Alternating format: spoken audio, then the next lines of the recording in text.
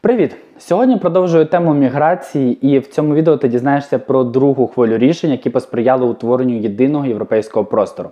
Минулого разу я обіцяв розповісти про єдиний європейський акт. Так от він був прийнятий у 1986 році, чим вносив корективи до згаданих мною римських угод. Післявоєнна Європа вже оговталась від Другої світової війни та зіткнулася із першою рецесією економіки та появою надлишку робочої сили. Тож з'явилася потреба в чіткому регулюванні кількості новоприбулих. За цим актом робітник мав підтвердити свою економічну спроможність і отримати запрошення від роботодавця або дозвіл на працю від місцевих органів самоуправління.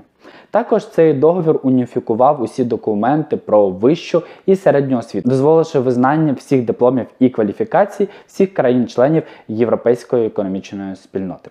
Була також розроблена спільна платформа для соціальних груп населення. Це були студенти, пенсіонери, малозабезпечені люди, задля однакового доступу до пільг і послуг на всій території.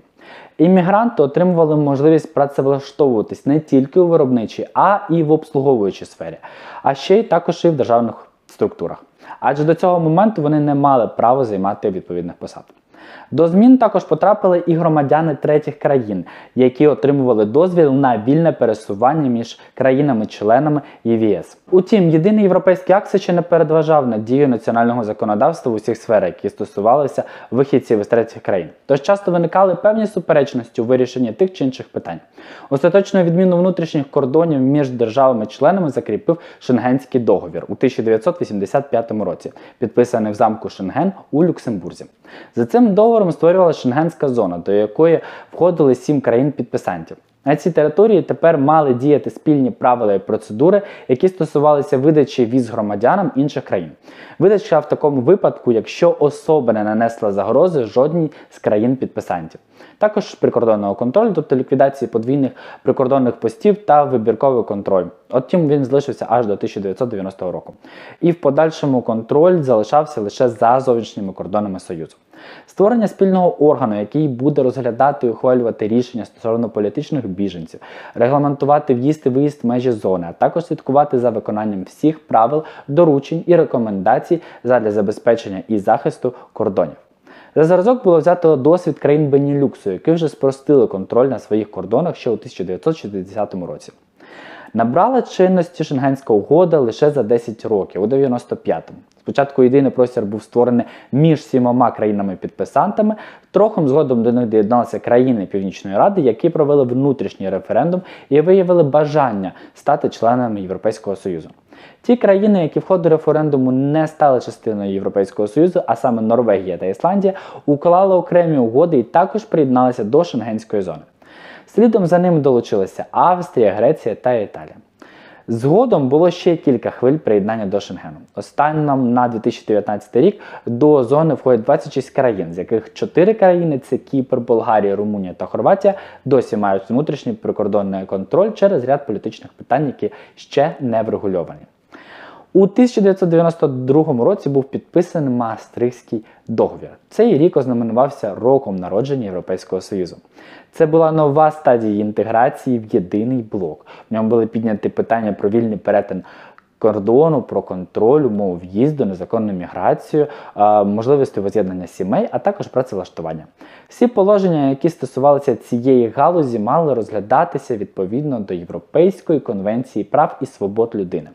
Конвенції ООН про статус біженців, Віденської конвенції про дипломатичні відносини та ряд інших. Утім, паритет цих питань знову ж таки залишався у внутрішній компетенції країн.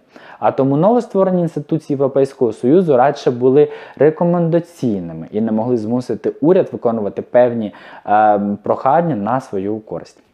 За угодою міграції та пов'язаною з нею діяльність було віднесено до сфери служби правоохоронних органів.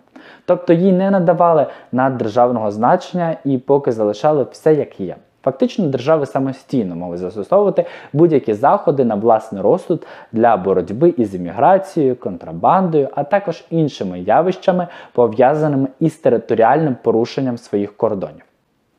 За пропозицією Маастрийського договору впродовж наступних чотирьох років підписанти мали узгодити подальший процес європейської інтеграції.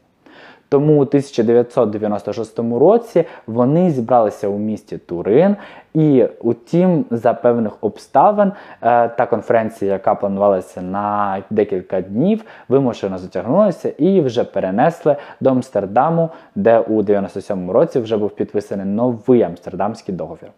Окрім загальних пунктів про подальшу співпрацю, він містив новий четвертий розділ, який закріпив із деякими змінами положення Маастрийської угоди.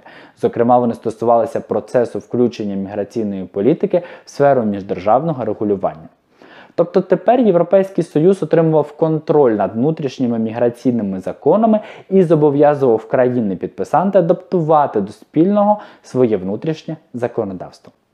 Крім цього, згадувалася свобода пересування, також процес надання притулку біженцям і важливість координованої діяльності над міграційними потоками.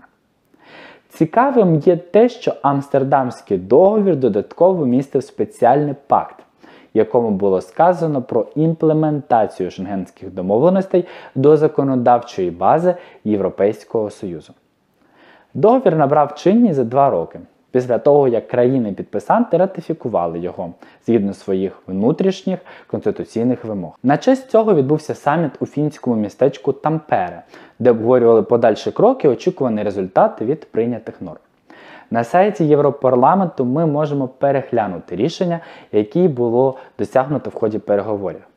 Так, Європейська Рада підтверджує важливість дотримання права на притулок біженців і створення єдиної європейської системи, базованій на повному та всеохоплюючому застосуванні Женевської конвенції від 1951 року, що мало б забезпечити право на заборону депортації до країни, яка здійснювала протиправні злочини проти людини, тобто додержання принципу невисилки.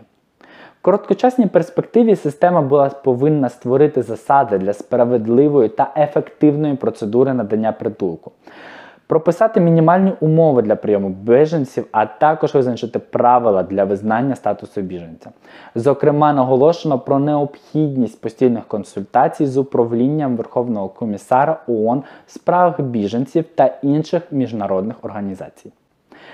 Крім цього, Європейська рада закликала до швидкого врегулювання полеміки навколо системи ідентифікації осіб, які шукають притулок за допомогою дактилоскопії European Alsim Dascopil Database або Євродек Європейська база даних відбитків пальців біженців.